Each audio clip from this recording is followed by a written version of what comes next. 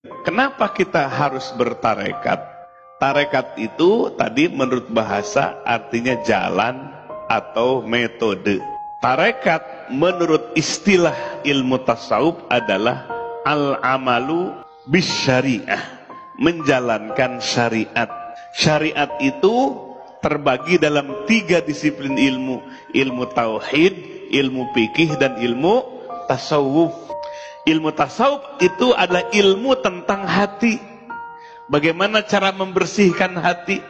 Jangan sampai hati kita seperti tong sampah, kotoran aja. Buruk sangka kepada orang lain di hati. Kebencian di hati.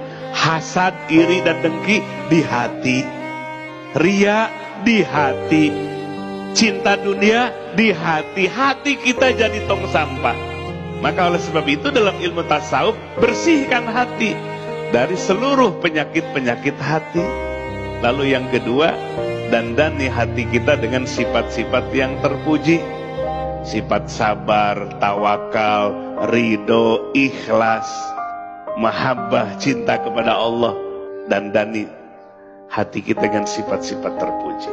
Nah, bertarekat adalah mengamalkan syariah Syariah ada dalam tiga disiplin ilmu, tauhid, fikih, dan tasawuf. Jadi ilmu tasawuf itu bukan ilmu tambahan. Kita luruskan pemahaman, dianggapnya tasawuf itu ilmu tambahan. Ilmu tasawuf itu ilmu inti, ilmu tasawuf itu ilmu pokok. Ruknun min arkanidin, satu rukun dari rukun agama yang lain.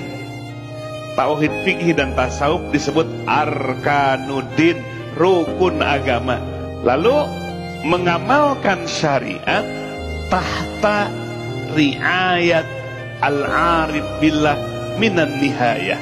Mengamalkannya bukan asal ngamalkan. Bukan asal ngamalkan ilmu tauhid, bukan asal ngamalkan ilmu fikih, bukan asal mengamalkan ilmu tasawuf. Tahta riayati al-arif billah minan nihayah di bawah asuhan, di bawah bimbingan seorang al-arif billah, orang yang sudah ma'rifat kepada Allah.